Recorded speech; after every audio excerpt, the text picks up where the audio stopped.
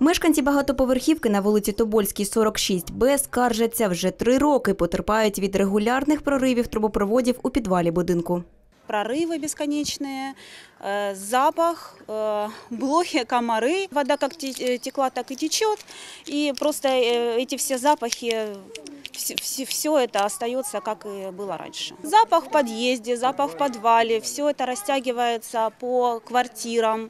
И воду у нас эм, перекрывают, когда якобы что-то приходит чинить, но все заканчивается жгутами, через день опять течет. Мы практически по 10 раз в неделю звоним в службу 1562. Куди тільки не зверталися із проханням замінити труби, бідкаються люди. Мы обращались э, в жилкомсервис, мы обращались э, в департамент жилищного э, хозяйства, мы обращались непосредственно а, в к мэру э, в его приемную. И все нам прислали ответ, что наш, наша коммуникация находится в удовлетворительном состоянии. Двері до підвалу мешканці тепер не закривають, аби сморід не потрапляв до під'їзду.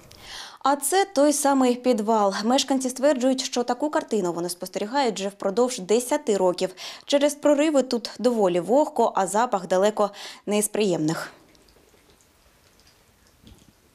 Нещодавно трубопроводи прорвало знову. Вода піднялася до рівня ось цього саморобного мосту із дощечок, а на її поверхні плавали фекалії, згадують люди. Вон тече вода. Фото зробили так, бросили, поїхали. Вода течет. Мешканці додають, в підвалі завелися блохи та комари. Під час зйомки їхні укуси відчула на собі і наша знімальна група. Телефоном начальник філії жилкомсервісу Шевченківського району запевнив, що про проблему знають і регулярно усувають несправності.